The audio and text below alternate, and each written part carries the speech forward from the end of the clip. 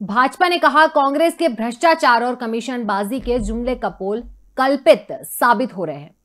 भाजपा प्रवक्ता दुर्गेश केशवानी ने कहा, कांग्रेस ने कृषि मंत्री कमल पटेल पर जिस पत्र के ज़रिए आरोप लगाए, वो पत्र ही फर्जी निकला। भाजपा ने कहा, सत्ता की रट में कांग्रेस के नेता पूरे प्रदेश में भ्रम का माहौल बनाने का काम कर रहे हैं। भाजपा प्रवक्ता दुर्गेश केसवानी ने कांग्रेस पर हमला करते हुए कहा कि कांग्रेस के द्वारा भ्रष्टाचार और कमीशनबाजी के जुमले कपोल कल्पित साबित हो रहे हैं। कांग्रेस पिछले 20 वर्षों से भ्रष्टाचार और कमीशनबाजी को लेकर आरोप लगाती रहती है। लेकिन आरोप लगाने के साथ कांग्रेस ही कभी भी ठोस प्रमाण नहीं दे पाए। हाल ही में कांग्रेस पार्टी ने कृषि मंत्री कमल पटेल और उनसे जुड़े हुए लोगों के ऊपर एक फर्जी पत्र के साथ सोशल मीडिया के माध्यम से झूठे आरोप लगाए। केसवानी ने कहा, अब वो पत्र ही फर्जी निकल गया। जिसके नाम से पत्र भेजा गया, वो व्यक्ति कह रहा है, ना उसने कोई पत्र लिखा, ना उनका कृषि मंत्री से कोई लेना देना है।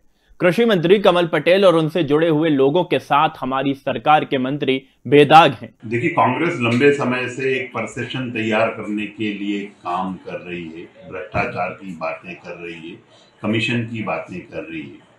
पर इन 20 सालों में न तो वो कभी अदालत गए, न तो कोई सबूत पेश किए, न ही मीडिया के समक्ष आए, न ही कोई एविडेंस लेके आए।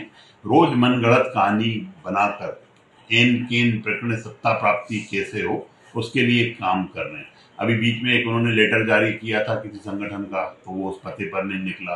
फिर अभी कल एक हरदा में एक उन्होंने एक लेटर जारी किया वहाँ से कमीशन के लोग कर और मंत्री जी को और उनके साथियों पर मन गलत आरोप लगाने का काम किया। जब उसको जांचा गया, परखा गया तो वह भी फर्जी पाया गया। कांग्रेस इस चुनाव में आरोपों के रथ पर सवार है। झूठ, छल, कपट धोखा देकर राजनीति करना कांग्रेस का मूल चरित्र है। हमारे हमारे सभी मंत्रीगण, माननीय कमल पटेल जी और उनके साथी सभी बेदाग हैं। अगर कहीं कोई इनके पास कोई एविडेंस है तो अदालत के दरवाजे खटखटाएँ अन्यथा मुँह की जमा खर्ची उनके नेता राहुल गांधी की तरह न करें। जनता भली बाती समझती है कि कांग्रेस झूठ और फरेब छल, कपट और इसी आधार पर चुनाव पर, चुनाव में है। जनता उनको मुँह तोड़ जवाब देगी। 2023 में भाजपा भारी प्रचंड बहुमत से और 24 में भाजपा प्रचंड बहुमत से आने वाली है।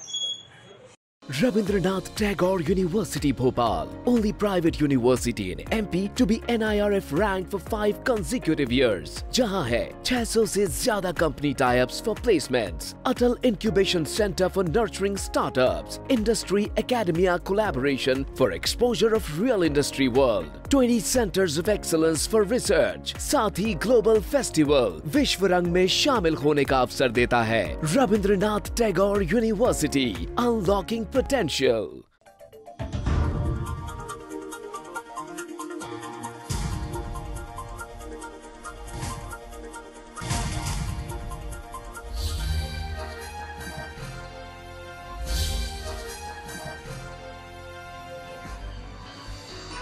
आप देख रहे हैं दखल न्यूज